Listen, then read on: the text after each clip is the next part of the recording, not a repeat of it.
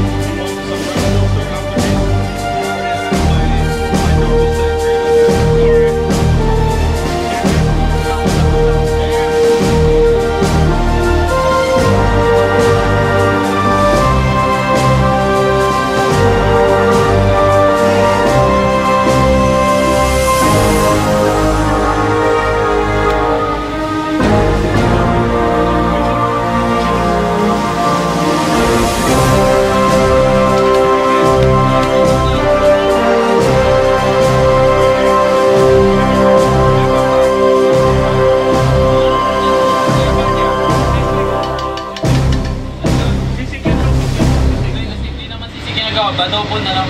Kasi basics yung ginagamit na eh.